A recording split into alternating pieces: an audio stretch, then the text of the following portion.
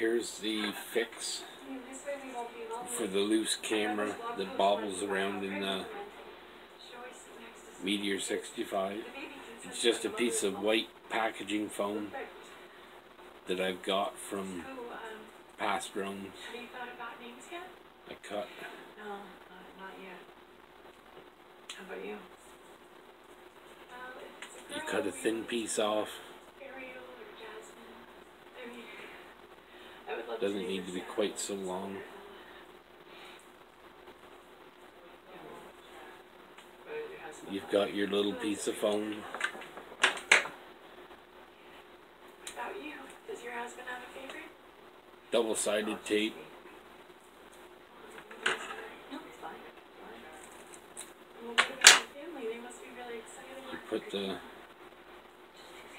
double-sided tape on. Press it down all nice and tight. Cut the excess off. There you've got foam with double-sided tape on it. You peel the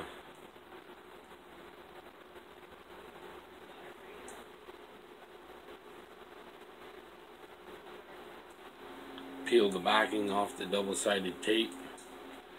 Then you've got a foam, piece of foam with double-sided tape so it's sticky. I don't know if you can see or not, but in there, above the VTX and above the camera, you can see the white piece of foam. You just take your canopy. I use tweezers.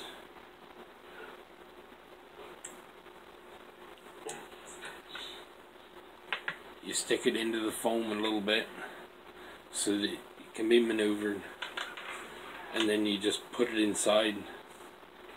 Put it inside the canopy where it needs to be above where the camera would sit. And then like I say again, it's hard to see but you can see up and above the VTX the white foam. That's what I've got to steady the camera. No more vibration. Keeps the camera from vibrating around and getting your jello. Keeps a much steadier video. Much nicer video. But yeah, that's how I fix my Meteor 65 that's got the camera that vibrates. Easy peasy, five minute job.